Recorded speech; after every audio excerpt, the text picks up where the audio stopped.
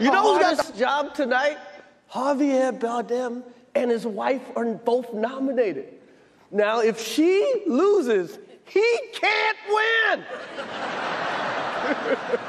he is praying that Will Smith wins. Like, please, Lord. Jada, I love you. G.I. Jane 2, can't wait to see it. All right?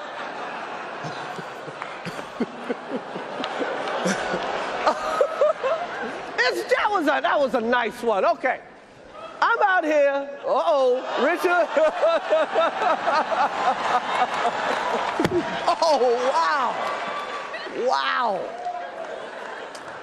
Will Smith just smacked the shit out of me. Keep my wife's name out your fucking mouth. Wow, dude.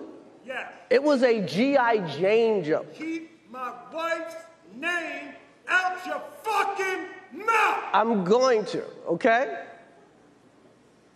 I could, oh, okay. That was a greatest night in the history of television. After the Okay. vicious attacks on Chris Rock last night, we think it's only right here at the Flagrant 2 podcast to defend the comic's honor to tell jokes. So here we go. If you didn't see the Oscars, Chris Rock got himself in a hairy situation. He shined a light on female alopecia, while Jada's head shined a light on everything else. Chris was making fun of Jada's baldy, but seriously, how is Will supposed to get turned on if she has a woman's haircut? Now, I'm not saying that he's gay. He likes women, specifically ones that swim for Penn. Holy shit. All Okay. I'm saying is last night wasn't the first time Will fondled another man to make Jada happy. Okay. Okay. And Will's chill. hand that struck Chris Rock was actually a metaphor for his relationship with Jada. Open when he wanted it to be closed. But let's be honest.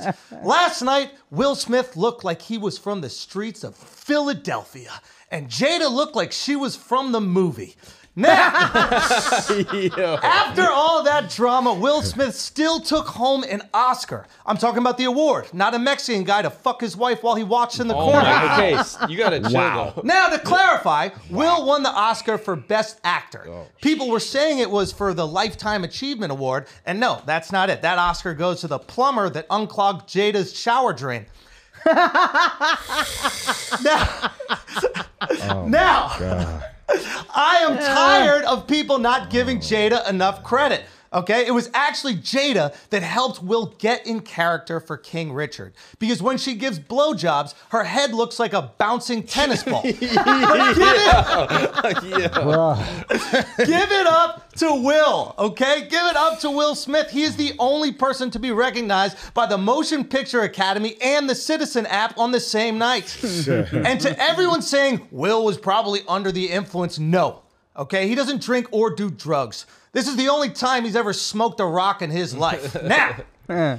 don't feel bad for Chris Rock, okay? He was finally part of a hit white people will watch. Oh Give Chris Rock some damn credit, okay? He took that smack like a champ.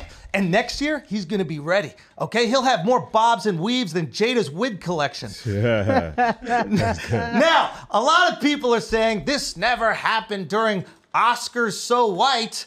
Exactly, okay? The white Oscars are mind numbingly boring, or as Jada would call it, a relationship with Will.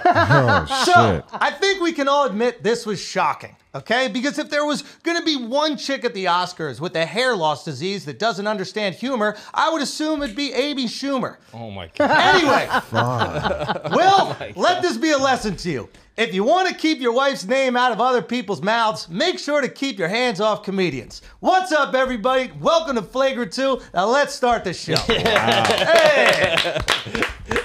Wow.